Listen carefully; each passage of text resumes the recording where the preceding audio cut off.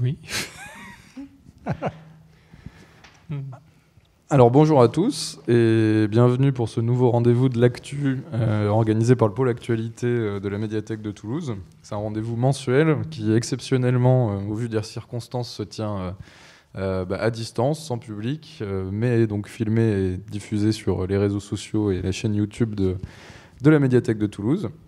Euh, pour cette nouvelle édition des rendez-vous de l'actu, on va s'intéresser aux élections américaines et aux résultats de l'élection américaine, avec du coup l'arrivée au pouvoir de Joe Biden après 4 ans de, Donald Trump.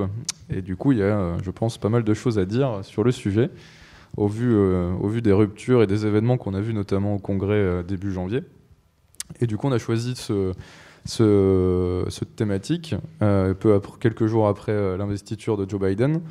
Et pour en parler avec nous, on a d'abord euh, à ma gauche immédiate Scott Stroud, qui est donc, si je ne m'abuse, président de la branche locale des Democrats Abroad, donc du Parti démocrate. Tout à fait. Et du coup, à gauche encore, Zachary Baquet, qui est maître de conférence à l'université Jean Jaurès et membre du laboratoire culture anglo-saxonne, donc fin connaisseur euh, des États-Unis. Bonjour. Alors du coup, on va faire, euh, on va organiser le débat en trois temps. Cette fois-ci, il n'y aura pas de questions forcément du public, euh, mais du coup, on va s'intéresser pour rentrer dans le débat à un peu la polarisation qui a lieu aux États-Unis après l'élection de Joe Biden, pour voir un petit peu où en est le débat politique aux États-Unis puisqu'on a vu quand même euh, une Amérique fracturée, et puis bah, euh, avec un peu une acmé euh, au moment de l'investissement du, Capitole par des manifestants.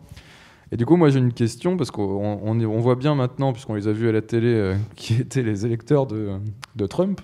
Mais en fait, quelle Amérique Joe Biden, lui, incarne-t-il? Celle qu'on voit pas forcément, du coup, de manière spectaculaire dans les rues, dans les rues de Washington en ce moment. Alors, je sais pas qui, euh, veut se lancer. Je peux commencer. Euh, ce qui est très intéressant à noter pour cette élection, c'est euh, une élection où il y a eu beaucoup de participation. Il y a plus de 66% des Américains qui ont été votés, ce qui est quelque chose de tout à fait notable, parce que généralement, les Américains votent peu. Ils votent un peu plus aux élections présidentielles, mais ils votent peu. Donc. Quand vous dites qu'ils votent peu, c'est moins de 50% de participation ou? Pour les présidentielles, c'est autour de 50%. Ah oui, c'est pas Non, c'est pas, pas beaucoup. Euh, là, il y a eu un vrai euh, euh, retour des Américains aux urnes, ce qui fait que Biden a obtenu le plus de voix à l'échelle nationale que tout autre candidat dans toutes les élections présidentielles qui ont eu avant. Donc j'ai les chiffres, c'est 80 millions d'Américains ont voté pour, pour, pour Biden. Juste derrière, Trump a eu 74 millions, ce qui est quand même aussi énorme. Donc, pour revenir à votre question initiale, ceux qui ont investi le Capitole le 6 janvier ne sont pas tous les, électeurs de Trump. Alors, à mon avis, qui sont les électeurs de Biden euh, euh, C'est des électeurs principalement euh, urbains, de plus en plus des électeurs des banlieues américaines, quelque chose de tout à fait notable. D'habitude, les banlieues votent plutôt pour les, pour les républicains. Un électorat féminisé. 50% euh, des femmes, 57% des femmes américaines ont voté pour, euh, Biden. Euh, donc il y a l'électorat traditionnel du Parti démocrate, mais aussi quelques républicains modérés qui, ont choisi Biden parce qu'ils n'en pouvaient plus de, des outrances pratiquement quotidiennes du, du président, du président Trump. En ce qui concerne les, enfin, les minorités ou tout ce qui est population issue de l'immigration. Est-ce qu'on a des chiffres là-dessus par rapport, par rapport aux élections? Alors, la population afro-américaine euh, vote traditionnellement depuis les années 60 pour le parti, euh, le parti démocrate, qui est le parti de Kennedy, le parti de, du président Johnson aussi, qui a réussi à faire voter le, euh, la loi sur les, droits, sur les droits civiques. Traditionnellement, depuis les années 60, les, la population afro-américaine vote pour le Parti démocrate. Euh, là, ça a été le cas aussi. Et euh, le, soutien de, euh, bah, le soutien de, l'équivalent d'un député, Jim Clyburn, de Caroline du Sud, il me semble, qui est une, un député assez puissant dans la Chambre des représentants, qui est là depuis des années, qui est militant, de la pour, militant pour les droits civiques, a soutenu très tôt Joe Biden dans la campagne présidentielle, même au moment des, euh, primaires. ce qui fait que tout un électorat noir s'est retrouvé à militer en faveur de, Joe Biden. Donc là, c'est 86%, ce qui est à peu près exactement ce qui se fait d'habitude. Ajouter quelque chose, Scott Vous que vous êtes au cœur du Parti démocrate, est-ce que est-ce que vous avez euh, une autre commentaire à faire sur qui, qui sont les électeurs et qu'est-ce qu'incarne un peu Joe Biden euh, Parce qu'on parle euh, de, lui, mais aussi de, ce qui, de l'Amérique qu'il va incarner dans les quatre années qui vont suivre? Bon, bon pour nous, Parti démocrate, surtout les démocrates, les démocrates à l'étranger, c'est quelqu'un qui, qui a l'expérience. Donc, c'est quelqu'un de de, stable et c'est c'est vraiment l'homme du moment, je dirais, après quatre ans de Trump. Donc c'est quelqu'un euh, qui... le pays a besoin de stabilité. je crois que les gens se, plaignent, en quelque sorte, du fait qu'il a 78 ans. Mais en même temps, cette, image du père ou même du grand-père qui veille un peu sur tout le monde, je crois que c'est quelqu'un qui rassure les gens. Et euh, son choix de Kamala Harris, euh, surtout euh, suite au mouvement Black Lives Matter, je, crois que ça aussi, c'est quelqu'un qui, a répondu à pas mal d'attentes de certainement des minorités aux États-Unis, mais aussi des, gens qui, qui veulent qu'on avance sur ce front-là. D'accord, je comprends. Et du coup, si, je continue euh, sur, sur l'élection qui vient de se passer, euh, on a donc les démocrates qui ont repris donc, euh, le leadership, mais derrière Trump qui s'est en allé sans même assister à l'investiture, mais qui apparemment n'a pas renoncé à un destin présidentiel. Est-ce que selon vous c'est quelque chose qui est encore envisageable, puisqu'il y a un impeachment apparemment encore en cours, il laisse planer le doute ce qui oblige aussi, et c'est peut-être la question qui va s'enchaîner après, au Parti républicain à se positionner sur, euh, sur le rôle de Trump dans l'avenir pour hmm. décrire un peu en creux euh, les autres électeurs. Alors le, le, 20 janvier, au moment du, de, l'investiture de, Joe Biden, quelques heures avant, euh, Donald Trump a fait son dernier discours en tant que président devant un public assez restreint. Euh, c'était en gros ses employés qui ont été payés pour, euh, pour venir assister à ce, ce discours, qui était un discours comme d'habitude non préparé, ad lib, et il a utilisé l'expression qu'il allait revenir sous une forme ou une autre, sans vraiment préciser euh, quoi que ce soit. il a dit à un moment donné, de la, après, après la campagne de, de, de 2020, qu'il se présenterait en 2024, mais en 2024, il, aura, il sera relativement, relativement âgé. Euh, il ne fait rien non plus pour maintenir son, euh, sa santé physique. Donc, enfin, je, me permets de dire ça parce que les commentateurs politiques américains le, disent aussi. Euh, ils croient qu'on a une certaine énergie pendant une durée normale, donc il ne faut pas trop se dépenser parce que sinon on n'aura plus de quoi quand on n'aura plus d'énergie quand on hmm. sera plus âgé.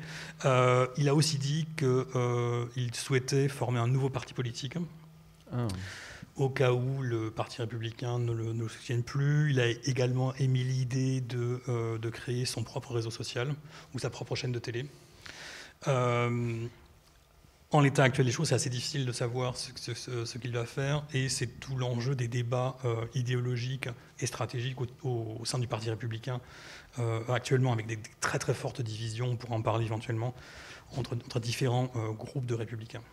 Oui, parce que là, le but de cette première partie, c'est un peu de s'intéresser à la polarisation entre, euh, entre deux partis qui euh, rythment la vie politique américaine, mais qui étaient euh, bon, adversaires, mais quand même dans des règles tacites de respect, même si le débat a pu être violent dans le passé. Mais là, on a atteint quand même quelque chose d'assez fort entre les deux, et surtout entre les deux électorats.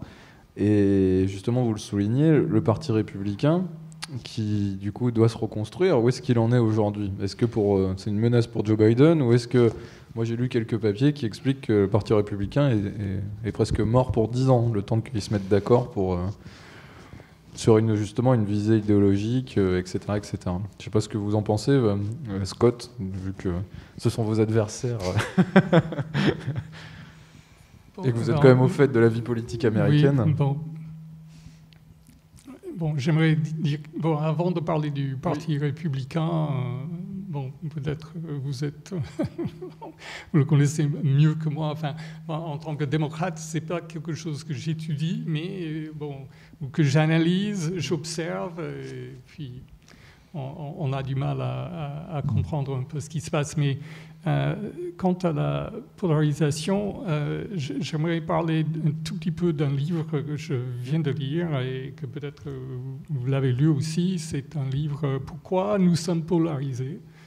Euh, c'est un livre qui est sorti l'an dernier écrit par Ezra Klein. Ezra Klein, c'est quelqu'un qui a monté une organisation d'info aux États-Unis qui s'appelle Vox mm. et qui, euh, qui a écrit, euh, qui était journaliste pour le Washington Post et maintenant qu'il écrit pour le, New York Times.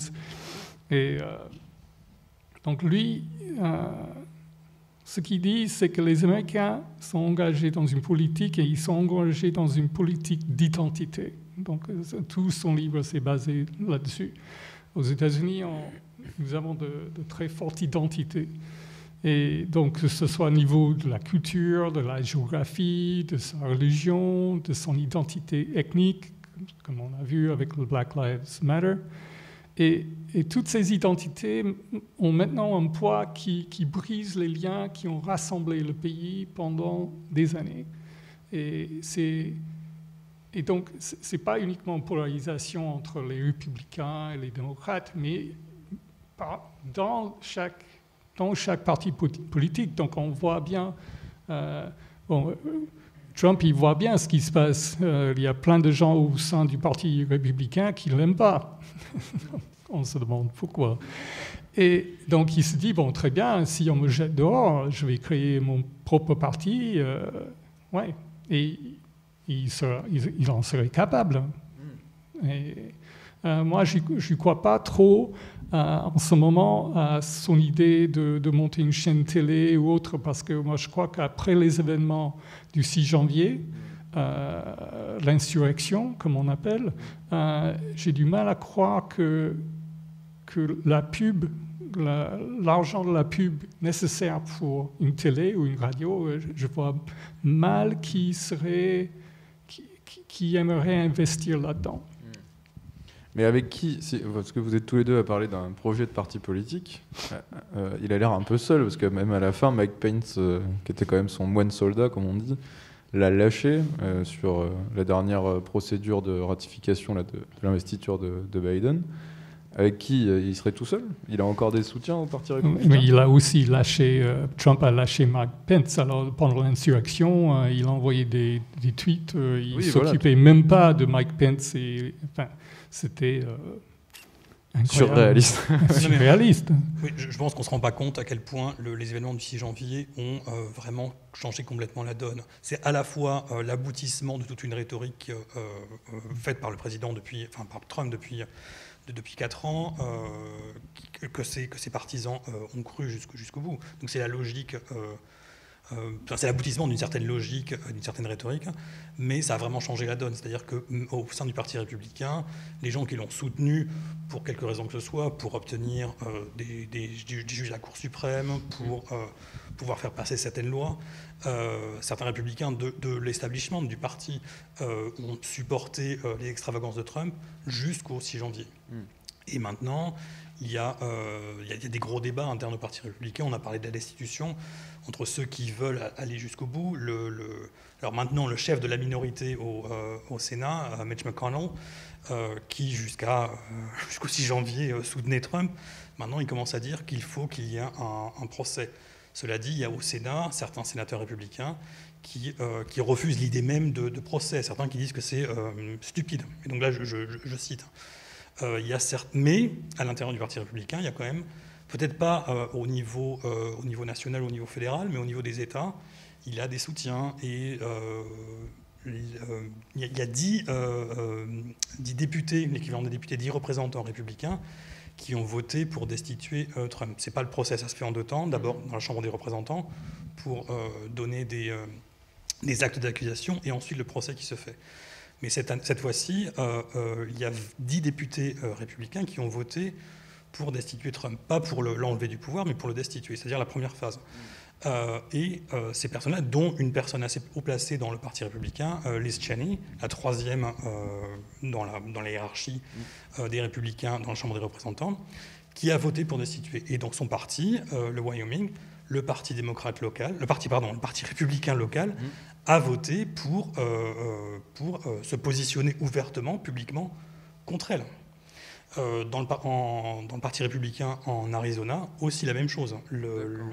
les partis républicains locaux s'opposent euh, aux figures nationales qui se sont opposées un peu tard, mais qui se sont opposées à Trump quand même. Donc il y a euh, une génération émergente qui part du principe que tous les républicains qui se sont opposés à Trump après les événements du 6 janvier doivent euh, partir du parti en disant euh, ce n'est plus le parti républicain tel que, vous, tel que vous connaissiez, c'est maintenant le parti de Trump. C'est ce qu'a dit le, fils du président pendant le, rassemblement juste avant les émeutes. Donc si je résume, on a une, comment dire, une direction, une élite du Parti républicain qui serait plus encline à tourner la page de Trump, mais une base en fait qui continue de le soutenir et qui euh, espère qu'il pèsera dans, le, dans la vie politique dans les années à venir. Ce qui rend encore plus compliqué euh, peut-être la, reconstruction de ce parti. Oui, d'autant plus que, euh, que, Trump, quand il a été investi par le parti, le parti républicain, ne représentait pas du tout les idées traditionnelles du parti, mm. du, parti républicain. le parti républicain, c'est un parti qui est pour le libre-échange. Trump est arrivé en disant non, on va faire des taxes, on va euh, repartir sur le sur l'isolationnisme. Le, euh, donc il, était vraiment à l'encontre de certaines des idées fondatrices, hein, je dirais même, du, parti, du parti républicain. Donc il y a une tension extrême et ça va être intéressant de, à étudier, enfin à étudier, à, voir comment ça, comment ça évolue. Je, pense que les choses s'agrégeront peut-être un peu au moment du, procès mmh. euh, au Sénat. Est-ce que, du coup le, Parti républicain semble divisé euh, il y a quand même une grosse euh, euh, polarisation entre les deux partis. Apparemment, même au sein des partis, il y a quand même une grosse fracture en termes d'identité en fonction des, communautés auxquelles on, appartient. Est-ce qu'aujourd'hui, l'Amérique, c'est une nation relativement unie ou est-ce que c'est maintenant devenu un, île, un archipel, j'ai envie de dire, de communautés qui trouvent des intérêts convergents temporaires et qui après vont se déchirer. Est-ce qu'on est a encore quelque chose qui, emmène tout ça? Oui, quand même. Parce que euh, en regardant l'histoire des États-Unis, l'heure noire, l'hiver sombre euh, de l'histoire des États-Unis, c'est quand même la guerre de sécession. Et c'est vrai que là, le, pays était vraiment complètement déchiré et c'était comme ça pendant des, décennies quand même. Et les raisons de la facture étaient vraiment très très profondes. Donc, euh, donc l'histoire des États-Unis, c'est pas, ce n'est pas si joli que ça. Euh, il y a, c'est quand même. Euh, je, suis désolé en tant qu'Américain de le dire, mais moi je, je trouve que quand même on va dans le bon sens quand on regarde euh, l'arrivée des Européens sur le sol américain, le massacre des indigènes, et ensuite euh, euh, l'esclavage et la violence qui allait avec, et ensuite la, la vie des Noirs pendant, pendant des, des, siècles. Mm-hmm. Donc, donc je, je trouve qu'on arrive à un moment où ça ne va pas très bien. Mais euh, oui, il y a quand même une crise d'identité. Et je crois que la raison profonde de, cette polarisation, c'est quand même, on revient à, la guerre de sécession et on revient aux, histoires de la place euh, des, minorités, et notamment la, place dans la société des, des, personnes qui veulent les mêmes privilèges et les mêmes droits que, les Blancs. Hmm. Est-ce que, parce qu'on parle de un-civil war en ce moment, j'ai lu ça, est-ce que il y a des observateurs qui disent que voilà, l'un des défis auxquels fait face Joe Biden, c'est justement euh, de ne pas sombrer dans des conflits qui peuvent être encore plus graves. Est-ce que c'est potentiellement possible de voir euh, des lieux aux États-Unis qui, qui revendique une, sorte de sécession ou de se mettre à côté de l'État fédéral On n'imaginait pas que le 6 janvier aurait lieu. Alors, est-ce qu'on peut imaginer ça dans les mois ou années qui viennent? Non, mais même dans l'histoire des États-Unis, après la guerre de sécession, il y a euh, des, mouvements très, très, très, très, très minoritaires qui, revendiquent une certaine forme de, droit à la sécession en, se basant sur l'histoire du, pays, sur la Constitution, sur une interprétation de la Constitution. Hmm.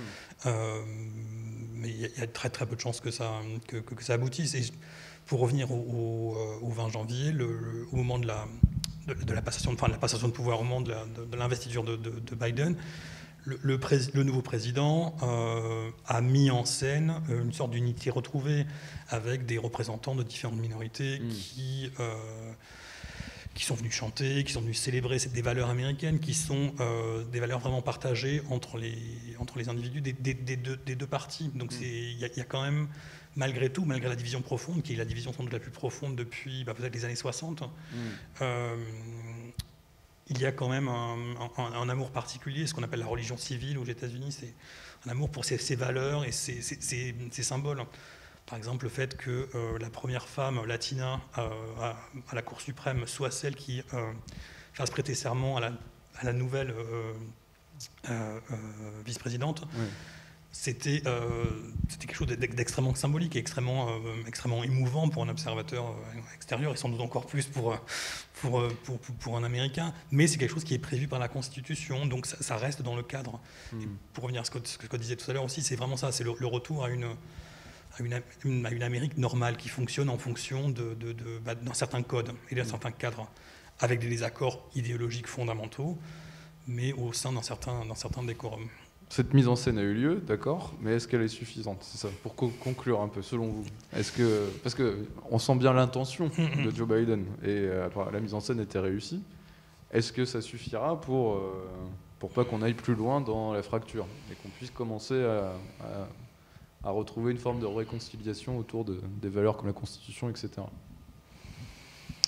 Je veux pas que vous fassiez les deux vins ou, les, euh, ou les, les 10 heures de bonne aventure, mais il a beaucoup d'images ont choqué, puis il y a quand même eu, euh, eu, avant le 6 janvier, il y a quand même eu des gros affrontements entre, euh, entre des, manifestants antifascistes, des, euh, des Proud Boys, les choses comme ça. Donc c'est pour ça, voilà, ces milices là qu'on voit souvent à la télé d'ailleurs.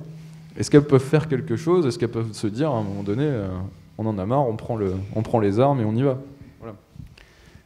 Bon, ce qui est encore plus choquant, si, si vous voulez, c'est que Trump pendant, pendant quatre ans, il parlait de, de law and order.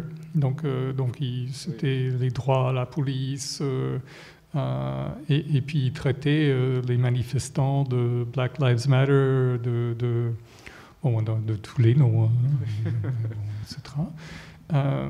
et donc, et puis de voir que, en fait, ceux qui le soutiennent,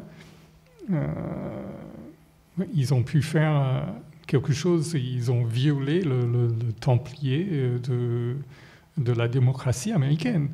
Donc, donc déjà, pour ces gens-là, euh, il, faut leur faire comprendre, bon, je suis désolé de le dire comme ça, mais il faut, faire comprendre ce que c'est que le, droit, law and order. Donc, ce qui fait qu'ils sont parfois un peu surpris de voir que le FBI qui frappe à leur porte en disant, euh, bon, c'était bien vous là, dans cette photo?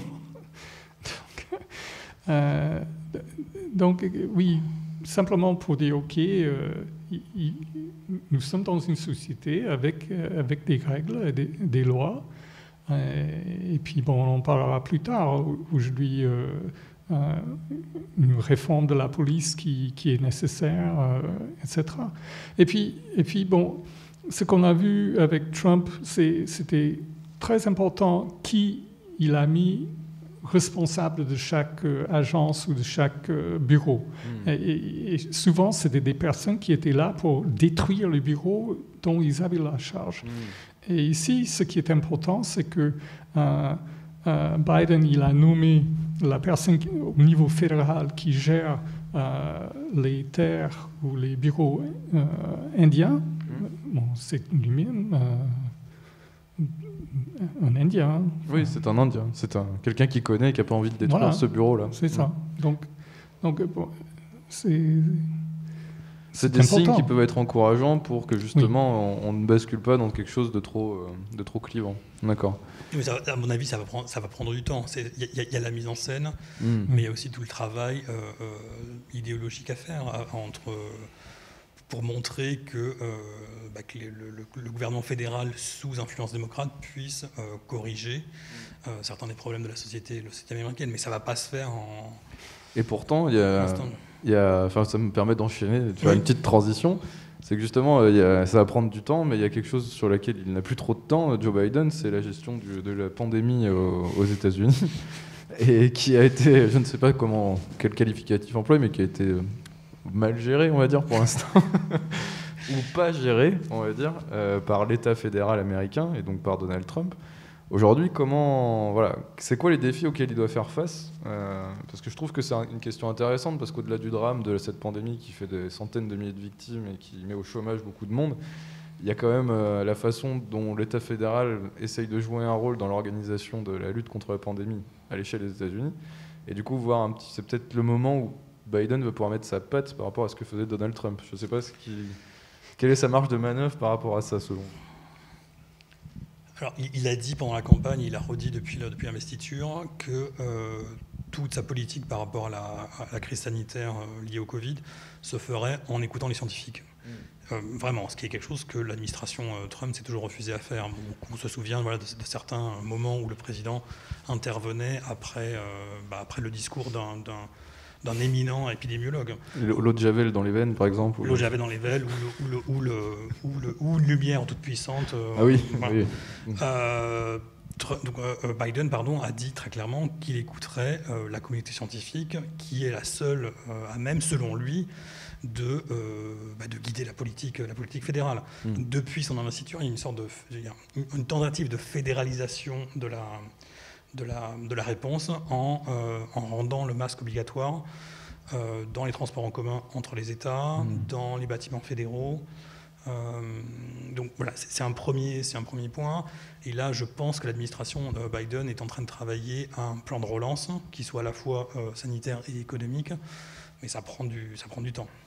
Mais quel euh, levier il peut avoir euh, sur... Euh, parce qu'il y a quand même un côté idéologique maintenant sur la pandémie, c'est-à-dire on y croit, on n'y croit pas, enfin les scientifiques, enfin peu importe, sur les quatre dernières années, il y avait un côté où en fait on était un petit peu le bon sens à moi, et puis peu importe ce que disent les scientifiques. Du coup, il a entraîné, Trump a entraîné des États dans cette démarche-là. Comment va faire Biden pour essayer d'entraîner des États un peu réticents à toute mesure anti-Covid? Avec l'État fédéral. Comment ça se passe aux États-Unis Lui, quelle va être sa marge de manœuvre dans, pour, dans certains États, il va avoir du mal. Il, va avoir du mal. Parce, bon, déjà, ce qui est bien, les États, et les États les réclament quand même, euh, les équipements, euh, les vaccins, la distribution, etc. Donc, donc l'État fédéral va faire le maximum pour ça. Et ça, la plupart des États, ils vont bien apprécier cela. Mais c'est vrai, au niveau euh, local, euh, les idéologies, euh, il y, a des choses qui sont quand même aberrantes. Alors, je peux vous donner un exemple de mon état natal, le Tennessee. Je suis de Nashville, Tennessee. Alors, l'État, c'est, je ne sais pas, 90% républicain. Donc, il y a deux, deux villes, Nashville et Memphis ce sont des îlots euh, bleus dans une mer de rouge. rouge donc, républicain. rouge républicain. Donc Nashville, Memphis, c'est démocrate. Donc le gouverneur, c'est républicain. Euh, voilà. Donc, pour vous donner l'exemple, donc à Nashville et à Memphis, ils ont fermé les écoles et, les enseignements se font à distance. Partout ailleurs, euh, c'est fait en présentiel. Le gouverneur a dit, OK, il faut que ça soit en présentiel. Et donc il a menacé, et on va voir s'il le fait ou pas, de, couper les fonds euh, à ces deux villes, les fonds de l'État pour l'éducation, s'ils ne suivent pas le mouvement. Et, pourtant, il y a, la pandémie est bien présente là-bas. Et, oui, euh, dans le Tennessee, ça a fait de terribles ravages terrible ravage. Voilà. Oui. Et ils sont prêts à couper le robinet budgétaire euh, pour, euh, tout à fait. en faisant fi de tout ça. Donc, euh, pas- pour, pour- pour dire, il y, a- il y a déjà, on a parlé du, du système fédéral entre le gouvernement euh, Oui. national et Mhm. le gouvernement des États, mais il y a aussi des sous des sous, sous, sous-divisions. Pour prendre un, un autre exemple que je connais un tout petit peu, c'est un État, euh, un État rural, euh, un État le, le- le Montana, dans le nord-ouest de- de- des États-Unis, qui euh, euh, assez rapidement, qui est un, qui est un, un État assez intéressant, qui a un gouverneur démocrate, Mhm. même si très majoritairement les, les- les- les habitants de Montana votent pour, le, pour les républicains aux élections nationales euh, et aux élections locales. Le gouverneur a très rapidement, euh, au moment de- du début de la pandémie, instauré le port du masque relativement obligatoire à l'échelle de l'État, mais l'État est subdivisé en comtés, et dans certains comtés, les euh, chefs de comté républicains ont dit non, non, non, on va laisser l'autonomie euh, à, chaque part- à chaque habitant en, en- en lui, ou en lui laissant choisir si euh, le masque est la solution appropriée pour répondre à ça. Donc, ma- malgré ces... Mais légalement, qui décide alors aux États-Unis? Parce que c'est intéressant ça. Parce qu'on a un président, on a des gouverneurs, des chefs de comté, je ne sais pas exactement quel est leur titre. C'est titre. aussi une question de la police. Donc, euh, dans, Oui. dans le Montana, c'est le shérif.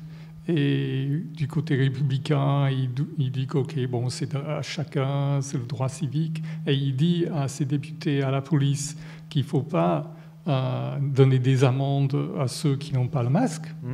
Bon, ils ne le font pas. Oui, donc ok. Mais- c'est voilà. compliqué quand même. C'est-à-dire- eh. C'est-à-dire que, parce que dans, dans les États, ou en tout cas celui qu'on connaît bien, l'État français, on a, qui est très centralisé en plus, on a un ministre qui donne des directives Ouais. qui sont appliquées par l'administration.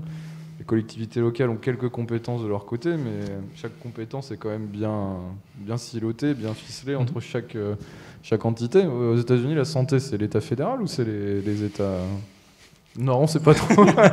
Non, non, mais la police non plus. y a... y ça peut expliquer des choses. Il faut, voilà, dans, dans les, enfin, les États-Unis ont été créés euh, comme États vraiment décentralisés. C'était des États qui se sont déclarés indépendants, 13 États, qui ont décidé en 1776 de transférer, euh, et en 1787 après, de transférer certains de leurs pouvoirs euh, au sein d'un État fédéral. Et donc la, répartition des pouvoirs et des tâches et des fonctions entre les deux niveaux est extrêmement compliquée et euh, parce qu'elle n'est pas clarifiée euh, dans la déclaration dans la, pardon, dans la Constitution. Euh, le dixième amendement est très très flou sur, euh, sur ça. Euh, donc ça donne lieu à des interprétations différentes et des interprétations idéologiques. Mm. Oui, donc en fait, il n'y a pas de solution miracle. C'est-à-dire que pour non. aller logistiquement, pour aller amener des vaccins, par exemple, ça doit être euh, un peu un cauchemar pour l'administration fédérale. En fonction de la coopération des États ou des comtés, ils peuvent le faire Mm. plus ou moins rapidement, si je résume. Oui, ça. mais certains États euh, gouvernés maintenant par les républicains, euh, qui sont des, des États euh, ruraux, se rendent compte que euh, c'est les États qui avaient refusé dès au départ de prendre en compte le- le- l'existence même d'une pandémie. Mais maintenant, ce sont les États les, pas les plus touchés, mais qui, se, qui se retrouvent très, très euh, frappés de manière assez, euh, assez dure par, euh, par, par la Covid. Mm. Et c'est des États ruraux, donc il y a, pas y a moins d'hôpitaux qu'à Mm. New York ou en Californie. Mm, je comprends. Mais, c'est- mais c'est voilà, pour revenir à ce que vous disiez, c'est extrêmement compliqué de trouver le, le- le- un moyen de gérer euh, ce type de problème à l'échelle fédérale. C'est aussi pour ça, du coup, que, parce que vous le soulignez, qu'au niveau de la gestion de la police et du mouvement euh, Black Lives Matter, c'est difficile pour un président de, des États-Unis de donner des consignes particulières. Parce que Trump, on a vu qu'il avait fait preuve de pas ou peu de compassion envers les victimes de violences policières. Mm. Mais avant lui, il y a quand même eu 8 ans de Barack Obama, avec des violences policières qui existaient déjà, et pourtant rien n'avait été fait. Est-ce que c'est lié à l'organisation de, du système euh, américain C'est- et- C'est compliqué. non, Alors, mais, non, mais parce que pour déjà, par rapport à ça.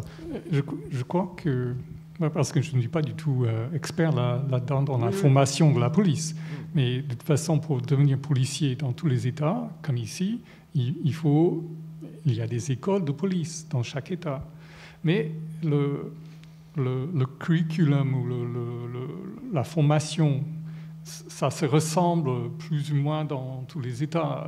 Ils ne vont pas faire des choses. Ce qui est surprenant, par exemple, pour nous en France, c'est de voir le- la quantité de temps euh, qu'on passe là-bas dans les écoles de police à apprendre à tirer. Beaucoup plus qu'ici. Oui.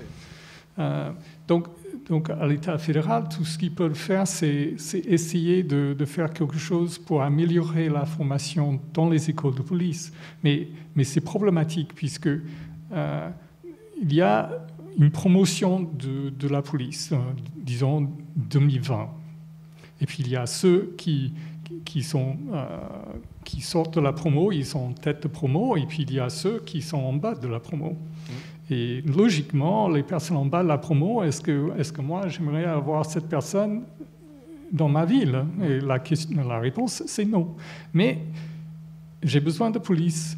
Et même, on va prendre même ceux qui, qui ne sont pas très forts. Et ils sont pris quand même. Je comprends. Et, et et ça, ça, peut donner lieu, du coup, euh, la formation ne joue pas son rôle de filtre pour avoir après des, des officiers qui, sont, qui font preuve de sang-froid, peut-être sur le terrain, etc. Tout à fait. Et puis dans chaque, dans chaque, euh, chaque ville ou chaque État, euh, le, la gestion de la police, c'est particulier. Donc dans certains, certaines villes, peut-être un jeune officier, un jeune agent, il, il a quelqu'un qui il, est automatiquement il, est coéquipier avec quelqu'un d'expérimenté.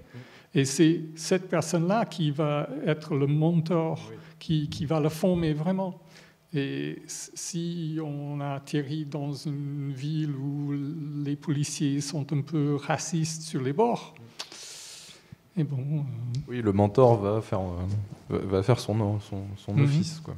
Mais est-ce que sur le mouvement Black Lives Matter, parce que là on parle des policiers, mais c'est vrai qu'ils sont au cœur de, cette question-là, mais on a quand même, il y a quand même cette question du racisme, de la place des Noirs, etc. Est-ce que quelle va être la marge de manœuvre de Joe Biden pendant ces quatre ans pour essayer de répondre à ce mouvement?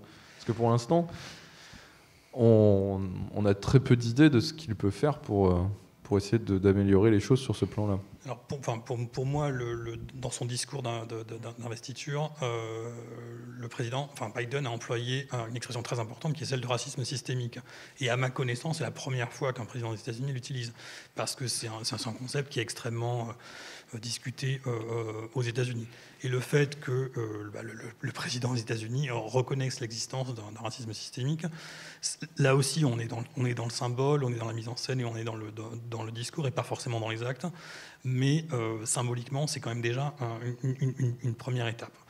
Euh, et donc, dès le début, enfin, dès, le, 20 janvier, euh, Biden a mis en place, par décret, des réponses assez symboliques aux problèmes des Noirs. Alors, c'est symbolique. Mais, mais, c'est un premier pas. Par exemple, on a, on a, parlé tout à l'heure de la création du, pays. Mm. Trump avait mis en place une commission d'historiens, pas forcément vraiment très, euh, très, légitime, qui s'appelait la commission 1776 pour euh, essayer de suggérer aux écoles qui, enfin, qui, qui, sont, qui font partie du pouvoir des États, mmh. et pour essayer de suggérer aux, aux écoles d'enseigner une certaine forme de l'histoire des États-Unis. Cette commission de 1776 s'opposait à toute une série d'articles dans le New York Times qui s'appelait sur l'histoire à partir de 1619, mmh. c'est-à-dire euh, la date de l'arrivée des premiers esclaves aux États-Unis. Et pour Trump et certains de ses alliés, parler de l'esclavage, parler de, du, fondement de l'esclavage dans l'histoire des États-Unis, dans l'identité des États-Unis, c'est enseigner aux, élèves euh, la haine de leur pays. Euh, voilà, c'est, donc. Et donc symboliquement, euh, Biden a dit bon, on arrête hein, cette commission de 1776. C'est une commission qui n'a aucun fondement, mmh. qui a été très très critiquée par les historiens, m'ont reconnu. Donc tout ça pour dire que, euh, que, symboliquement, il y, a eu, les premières étapes en disant que le gouvernement fédéral maintenant allait reconnaître euh, euh, la place de l'esclavage dans l'histoire et dans, le fondement du, pays. Biden a aussi nommé le premier, l'équivalent du ministre de la, de la, Défense, mmh. le premier noir, qui va obtenir ce, enfin, qui va être bientôt, non, qui a été approuvé par le, par le Sénat. Donc c'est progressif, euh, mais, voilà. J'espère que, j'ose espérer que, ce soit, que ça aille dans le bon sens. D'accord, donc il y a des choses qui sont mises en place. J'ai peut-être une question, mais pourquoi Barack Obama ne l'avait pas fait, ça? Non mais... Parce que... Oui, c'est vrai, que je crois qu'on a étudié tout ce qu'il a dit, tout ce qu'il a fait, et il était très sensible au fait qu'il était le premier président noir. donc peut-être qu'il avait un peu peur de, de, partir en croisade, entre guillemets. Donc, il, était, donc il, il, a fait des choses, mais il, était, il essayait d'être. Il, il a réussi à être très subtil là-dessus. D'accord. Pour, pour, éviter des, des, critiques quelque part. Hmm. Euh, Trop subtil peut-être. parce que peut-être. Il y, a quand même pas mal de commentateurs qui regrettent. Je, qui, regrette un peu ce, manque de, de, prise de position pendant ces deux mandats sur ce sujet. Non, mais surtout pendant le premier, surtout pendant les deux premières années de son mandat, où les démocrates avaient une, euh, une, majorité euh, assez, euh, assez confortable dans les, dans, les deux chambres. mais Obama, pour des raisons qui lui sont propres, a, souhaité essayer de mettre en, en, place une forme de bipartisme, c'est-à-dire d'essayer de, de d'inclure euh, l'opposition républicaine à cette prise de décision, plutôt que euh, de faire voter des lois, d'essayer de faire voter des lois uniquement hmm. euh, selon les lignes, les lignes des partis. Et les républicains ont, complètement refusé. Ce qui fait que toutes les grandes, les grandes, les grandes lois de l'administration Obama sont passées extrêmement, extrêmement tard, et uniquement avec les, voix, les démocrates, parce qu'il y a eu pendant deux ans cette tentative d'essayer de trouver un compromis, de trouver un juste, un juste milieu. Peut-être, comme le disait euh, Scott, pour pas trop brusquer une population qui est très, très, très sensible à, ce, à ces problématiques-là. D'accord, je comprends. Euh, pour avancer un petit peu, je voulais finir juste sur cet euh, dernier aspect, puisqu'en fait, c'est quand même, on est encore sur cette phase de transition où Joe Biden vient d'avoir le pouvoir après 4 ans de, de, de, président fake news, on va dire. Et, et là, en fait, au début, j'avais pas Bon, il faut en parler, mais j'avais pas prévu non plus de trop le développer, sauf que euh, après les prises de position de, Trump, il a été suspendu par les réseaux sociaux, il y a un débat qui s'instaure sur la liberté d'expression, etc. etc. Qu'est-ce que, est-ce qu'il s'est positionné là-dessus? Est-ce qu'il y a quelque chose qui va être envisagé par euh, l'équipe de Biden par rapport à ça? Ou est-ce que on laisse faire l'autorégulation ou comment il va essayer de retrouver euh, la confiance des gens sur, euh, dans, les médias ou dans la parole présidentielle, etc. etc. C'est quelque chose qu'il envisage ou peut-être pas hein, J'ai entendu à la radio américaine euh, cette semaine que donc, au, sein de Facebook, ils ont une commission pour étudier les problèmes de ce type. Et en fait, ils n'ont jamais, cette commission n'a jamais vraiment travaillé. Enfin, peut-être qu'ils n'avaient pas de de bonnes raisons pour euh, bien regarder tout ça. Mais, cette semaine, il y aura euh, une vraie réunion pour étudier euh, la question de, comment gérer les, mes informations, de comment gérer qui, peut avoir un compte, qui ne peut plus avoir un compte, comment gérer tout ça. Parce que pendant des années, le Facebook, il dit, bon, le, contenu, ce n'est pas notre problème. Mais maintenant, depuis le 6 janvier, c'est devenu leur problème. Ils savent que maintenant, il faut, il faut réagir. Et, puis, eux, ils sont comme nous tous. chaque jour, ils se lèvent et ils se demandent comment, comment je vais faire aujourd'hui. Nous sommes vraiment dans un, dans un moment critique et historique. Euh, Tout à fait. Mais justement, est-ce qu'il y a une position de Biden par rapport à ça? C'est-à-dire, est-ce que c'est euh, à des représentants publics, au pouvoir public, de déterminer euh, qui a le droit de parler ou pas, ou est-ce qu'on confie cette responsabilité à des firmes privées que sont les GAFAM? Alors, je ne fais pas le débat d'aujourd'hui, mais est-ce que parce que sinon on peut y rester des heures. Mais est-ce, est que lui a une position par rapport à ça? Alors, Déjà, il y a, c'est quelque chose qu'on a déjà évoqué plusieurs fois, mais le, retour à la normale. Euh, euh, Biden a nommé une, nouvelle porte-parole du gouvernement qui, qui a dit qu'elle allait faire très régulièrement des, euh, des, conférences de presse, qui est quelque chose que l'administration de Trump a fait au début, mais après a complètement, complètement arrêté. Donc il y a quand même euh, une, volonté de parler au nom, euh, de, la, euh, au nom, de l'administration, au, nom, du gouvernement, mmh. en essayant d'être le plus proche possible de, la réalité. Donc il y a une volonté de l'administration de Biden de retourner à une parole qu'on peut croire. Pour, pour, pour, parler du, du, compte Twitter de, Trump, c'est une décision par une entreprise privée dans la Constitution américaine, le premier amendement dit que euh, la liberté de, parole euh, est extrême, mais qu'elle ne peut pas être restreinte par le Congrès. Il n'y a aucun. Donc, tous les républicains et tous les conservateurs qui disent qu'ils sont censurés, c'est faux. ils ont le droit de parler et ils ont des masques. Ils s'adressent en tant que députés filmés par toutes les caméras du monde entier avec un masque où il y a écrit censuré. Euh, euh, oui, c'est un peu paradoxal. C'est un, peu paradoxal et ça va un peu aussi à l'encontre d'une idée fondamentalement républicaine qui est celle de la liberté d'entreprendre. Donc chaque entreprise peut décider comme elle veut. On est bien d'accord que ça, touche des problèmes euh, fondamentaux du, de, la liberté de parole qui sont gérés par des entreprises privées, par les GAFA. Mm. Et du coup, maintenant, ces GAFA sont devenus la sorte de bête noire des, républicains qui disent que ce sont eux qui... qui qui gère la prise de parole. Oui, j'ai lu qu'ils étaient taxés d'être en fait aux mains du Parti démocrate. Oui, oui, oui, oui. Oui, oui, voire des communistes chinois. Enfin, euh, ah oui, d'accord. oui. Bon, mais bon, j'aimerais réagir aussi, c'est que.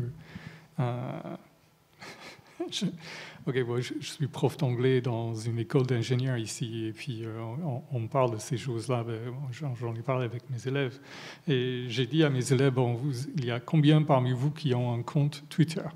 Et puis il y avait un. J'ai dit OK. Euh, et vous l'avez lu, le, contrat euh, Parce que chaque fois qu'on s'inscrit dans tout ce qui est Apple, mm. Facebook, mm. Twitter, vous l'avez lu, le contrat? Mais bien sûr que non. Mm. OK, mais il y a un contrat. Et, et, ce qui est important avec le compte Twitter, c'est que euh, moi, moi, je suis de l'avis qu'ils auraient dû couper le compte de Trump il y a longtemps. Mm. Enfin, moi, c'est un bon démocrate, n'est-ce pas? Ok. Et ils ont essayé de, de, l'éduquer, entre guillemets, en disant Ok, ça, c'est de, mes informations, ça, c'est faux, ça, c'est gna gna gna. Ok, donc ils, n'ont pas osé couper le compte ou mm, mm. Euh, parce que c'est quand même le président des États-Unis. Bon, donc il a eu beaucoup plus de marge de manœuvre que que, nous. Ok? Donc, donc il a incité une insurrection et ses, militants ont envahi le Capitole et le Twitter a dit euh, bon, je crois qu'on va arrêter là. D'accord. Oui, donc finalement, c'était une, décision euh, parce qu'ils ont été poussés euh, dans leur dernier retranchement. Tout à fait. Oui, je comprends. Non, mais voilà, parce que ça pose des débats. Et bon, lui, retour à la normalité. Et c'est vrai qu'on on sous-estime le rôle de ces conférences de presse qui entretient des relations avec le public via les médias. Mais c'est vrai que Trump ne le faisait plus en fait. Le, le faisait plus où il y avait une relation euh, antagoniste avec les euh, avec journalistes. Le, problème, un des problèmes aussi, de, pour revenir à ce qu'on disait tout à l'heure sur la, sur la division du pays, sur la polarisation, hmm. c'est que les Américains ne regardent pas les, n'ont pas les mêmes, n'ont pas accès aux mêmes informations. Donc les, les, soutiens du président Trump et euh, les, gens qui ont voté pour Biden ne regardent pas les mêmes chaînes de télé, ne lisent pas la même presse. Mais par choix ou parce que euh, c'est des questions économiques ou c'est un, peu des deux. Ce qui fait, voilà, et les réseaux sociaux font que euh, Facebook, Twitter, tout ça, font que chacun est enfermé dans une bulle et une chambre d'écho mm. et n'a accès que à des informations qu'il ou elle a envie d'entendre mm. et n'a accès que à des, des, des informations qui renforce ce que ce qu'il qu'on croit déjà. Mmh. Et ça, c'est arrivé à son paroxysme aux États-Unis. Donc ça va être difficile de, de casser ces bulles-là, d'essayer de déconstruire les, mmh. euh, le, bah, les, discours les uns des autres pour montrer qu'il y a que, que, que le, un fait, ça existe. Que, euh, oui. oui. et qu'il faut Donc c'est vrai, c'est vrai tout le monde est dans sa, bulle, mais il y a une étude qui a montré quand même, ils ont regardé, ils ont fait une étude, une analyse euh, des républicains et des démocrates. Et encore, c'est le Parti démocrate qui parle. Mais, euh, donc, euh, bon, républicain moyen, ok, bon, il, bon, s'il lit un journal, peut-être c'est le Wall Street Journal, mm-hmm. s'il est sérieux. Bon, surtout, il, regarde Fox News. ok Donc, en fait, le, le, le, républicain moyen, il, il a peut-être trois ou quatre biais d'informations. Et puis on regarde de l'autre côté, et puis côté chaîne euh, télé, c'est plus varié. Côté journaux, c'est quand même plus, plus varié. Mais c'est vrai que finalement, le problème avec euh, euh, les réseaux sociaux, c'est les, les, algorithmes. Mmh. Donc, c'est aussi les algorithmes qui nous poussent euh, dans cette polarisation. Ils ont fait une étude là-dessus aussi. C'est que, par exemple, si je me, si m'intéresse à bungee jumping, donc, donc, je commence à regarder les vidéos bungee jumping. Bon, ensuite, ça va me pousser vers l'extrême. Donc ensuite, euh, c'est sauter euh, d'une montagne. Ça, les algorithmes, ça nous pousse toujours. Oui, parce qu'ils ont un souci, c'est de nous de garder notre attention et mhm. puis notre, euh, notre mhm. capacité de rester sur le réseau, parce qu'ils doivent de collecter des données personnelles. Et du coup, le meilleur moyen de le faire, c'est d'aller dans le sens dans le sens dans lequel on pense. Côté politique, c'est la même chose. Voilà. Et côté politique, c'est le même algorithme, donc forcément, ça enferme dans ces bulles de filtre. D'accord. Hmm. Bon, c'est un débat, on verra quel, comment il se positionnera. J'aime bien regarder euh, Stephen Colbert. Bon, hmm. mais donc si je suis sur YouTube, donc qu'est-ce qu'est-ce qu'on va me proposer ensuite? Hmm. Toute la gamme de, des émissions comme Colbert. Voilà, on ne va pas vous proposer autre chose. On n'est jamais soumis à l'altérité sur les réseaux sociaux. Tout à fait. Ok, bah, pour finir sur, euh, sur cette table ronde, euh, un petit dernier temps quand même, euh, je pensais l'aborder puisque nous, Français, en plus, ça nous intéresse. Quelle va être l'image et la place des États-Unis sur la scène internationale? Puisque déjà que il y a eu pas mal de choses qui ont changé en 4 ans, apparemment, vis-à-vis -vis de la politique extérieure de Trump, mais l'image aussi a été dégradée vis-à-vis de d'images de première démocratie du monde, après les images du 6 janvier où on voit euh, des manifestants euh, rentrer dans le Capitole. Et d'ailleurs, on a bien vu que les régimes un peu euh, ennemis des États-Unis, comme l'Iran, la Russie, la Chine, se sont empressés de réagir avec ironie sur les événements du Capitole. Est-ce que d'où il part là, Joe Biden pour retrouver tout ça? Parce que il y, a, du travail, non? Il part, il, part, il, part, de très très loin, parce que, le, comme je l'ai dit tout à l'heure, les événements du Capitole, c'est l'aboutissement, parce que ça depuis quand même 4 ans, et depuis mm. un an encore plus, euh, le président Trump a euh, beaucoup insisté, il euh, a beaucoup critiqué le, bah, le, phénomène de la démocratie même, en disant que s'il n'était pas réélu, c'est que le vote n'était pas légitime. Mm. donc il y, a eu tout un travail de sape de, de, de, la démocratie, et plusieurs fois pendant son, son mandat, Trump a utilisé expressions extrêmement vulgaires pour décrire des pays du, tiers-monde qui, étaient, qui décrivaient comme des républiques bananières.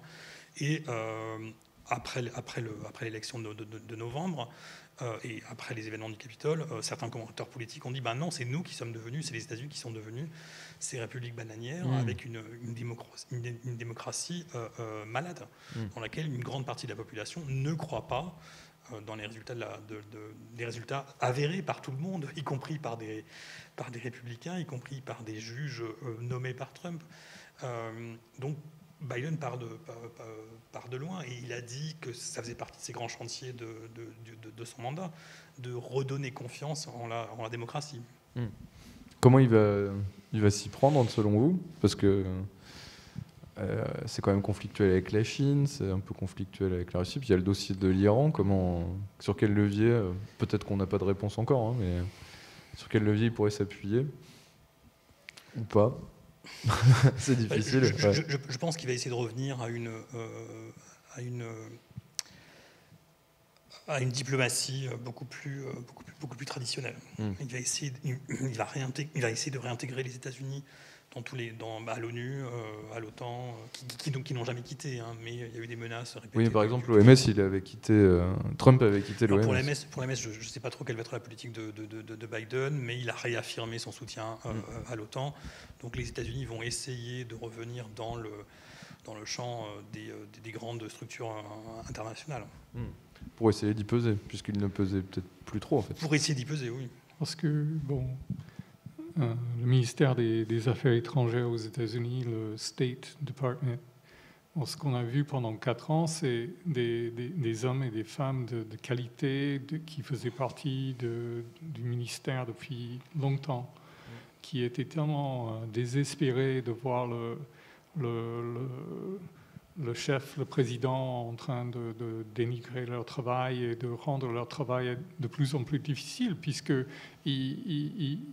il, pendait des décrets euh, comme, euh, dès, le, début de son mandat. Hmm. Et, c'est tout le ministère qui essayait de suivre. Donc, euh, tous les ambassades dans les pays partout, ils avaient du mal à, expliquer à leur entourage la politique étrangère de Trump. Hmm. Donc, donc déjà, je crois que Biden il va essayer de, faire revenir ces, ces personnes. Euh, et, de revenir à ce qu'on avait euh, avant. Ce qui va prendre du temps quand même. Ça va prendre très longtemps. Très longtemps. Parce que, Avant de pouvoir agir. Parce qu'une fois qu'on a brisé une confiance, c'est comme des relations entre personnes. Mhm. Les, relations entre les pays, c'est les, relations entre les présidents et les gouverneurs. Et, et une fois qu'on a brisé une relation et on n'a plus confiance, euh, je crois qu'il faut du temps pour rétablir la confiance. Et ça, oui, faudra, il faudra du temps. Est-ce que, d'un point de vue commercial et des accords commerciaux, parce que Trump était quand même, comme vous l'avez souligné, un peu isolationniste, assez agressif, est-ce que Biden va changer? Parce qu'apparemment, quand même, il, il, vient de signer un décret comme quoi il fallait privilégier les entreprises américaines pour se fournir, etc., ce qui fait hurler le Canada. Mais euh, il y a des sanctions en cours avec la Chine, il y a des, il y a des, des taxes sur les produits français vis-à-vis euh, du conflit Boeing-Airbus. Est-ce que là, on va avoir une rupture ou plutôt une une continuité qui finalement on retrouve sur euh, les dizaines d'années qui viennent de se passer. Alors, on a parlé de l'internationalisme. Je, pense que les États-Unis vont, réintégrer euh, pour, euh, pour, pour, pouvoir peser dans, dans, ces grandes structures internationales, y compris commerciales. Mais comme tout pays, les États-Unis ont leur intérêt économique en ligne de mire. Enfin, mm. c'est pas spécifique aux États-Unis, c'est quelque chose de, de, de, fondamental dans toutes les relations, les relations internationales. Donc je ne pense pas qu'il y aura de rupture radicale euh, euh, par, par, rapport à ça. Effectivement, euh, Biden voilà, a fait ce décret en, encourageant les, le gouvernement fédéral à ne, ne, faire des, des, des affaires qu'avec des entreprises américaines. Mm. Mais ça, c'est une loi qui date de 1933, donc, qui, qui, est plus ou moins, qui, qui, est plus ou moins respectée. Donc c'est quelque chose que Trump avait mis en avant et que Biden aussi continue à mettre en avant parce qu'il y a quand même une, envie de, maintenir l'économie des États-Unis à, haut niveau. Donc, à mon avis, il n'y aura pas trop de rupture euh, hmm.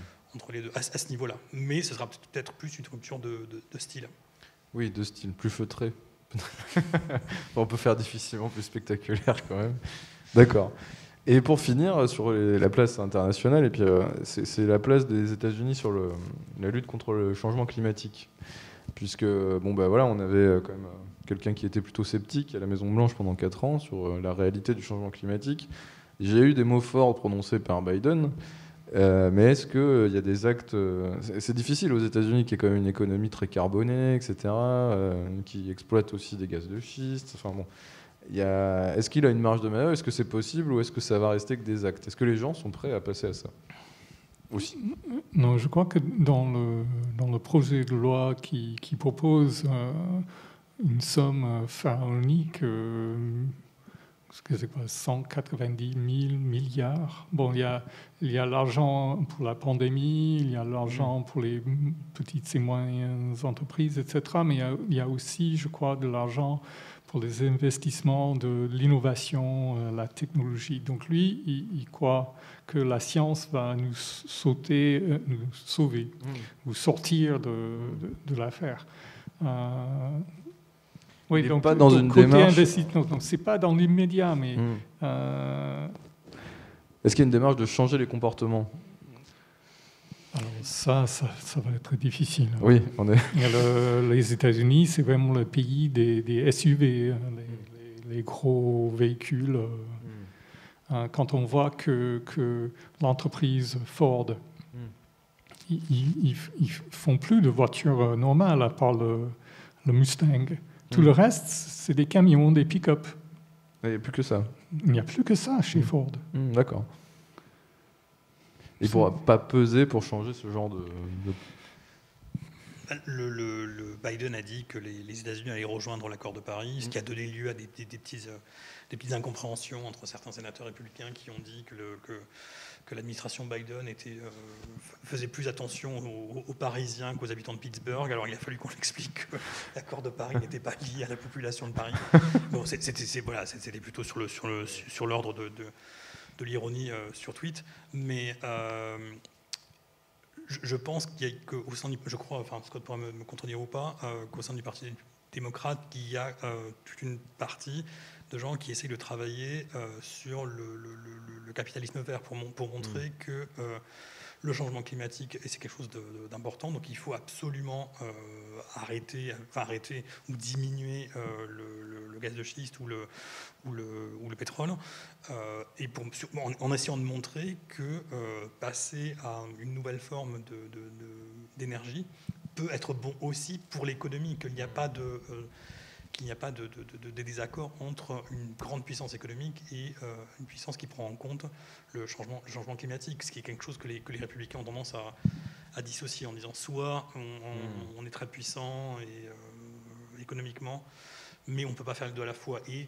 au sein du Parti démocrate, il y a beaucoup de gens qui travaillent sur, sur ça pour montrer que c'est aussi une, un système économique viable de penser à l'énergie solaire, à l'énergie du vent et tout ça. D'accord. Donc en gros, si j'essaie de un peu résumer nos échanges, il va y avoir une tentative d'abord d'apaisement de, la société, d'un retour à la, entre guillemets, à la normale. Et après, en fonction de, de, l'état de ce qu'il trouve, en fait, on va voir ce qu'il va être capable de faire, sachant qu'il a quand même il a la possibilité maintenant de, légiférer, puisqu'il a la majorité, on ne l'a pas abordé, mais il a, il a la, possibilité d'avoir une majorité euh, au Congrès. Certains au sein du Parti démocrate euh, poussent euh, Biden à faire ce qu'Obama n'a pas fait pendant ces deux premières années, c'est-à-dire légiférer uniquement avec les démocrates. Mais le problème, c'est que la, majorité au, Sénat est extrêmement fine. c'est 50-50 avec la voix prépondérante de la, de la vice-présidente, qui est quelque chose de tout à fait constitutionnel. Hein. donc du coup, ça ne, passe, ça, ne pose pas de problème. Mais il suffit d'une défection dans les rangs démocrates pour que, voilà. pour que tout soit bloqué. D'accord. Et vous avez une idée des premières, pour conclure, qu'est-ce qu'il va faire dans les 100 premiers jours? Il a signé des décrets, bon, qui étaient euh, la, com, on va dire, mais est-ce que voilà, qu'est-ce qu'il va C'est surtout le premier projet de loi euh, avec les, euh, bon, avec la, pandémie, la pandémie. tout ce que je viens de mm. dire, les, j'ai du mal à, prononcer tout ça en anglais, 90 000 milliards de, dollars. Ça, c'est vraiment la première chose à, faire passer par le hmm. Congrès. D'accord. Ok, ben on a écoulé le, le, temps partie. Du coup, on va, on va conclure. On va remercier ceux qui nous ont regardés. Et puis, euh, on vous donne rendez-vous bientôt. Euh, on va remercier aussi euh, Scott et Zachary pour leur participation et ces éclairages fort intéressants. Et on va se donner rendez-vous bah, bientôt en fonction de l'évolution de la situation sanitaire. Comme vous, on improvise au fur et à mesure. Donc soit ici en présentiel, soit à distance euh, euh, sur YouTube. Et je vous dis à une prochaine fois. Merci, au revoir. Merci, au revoir. Merci, au revoir.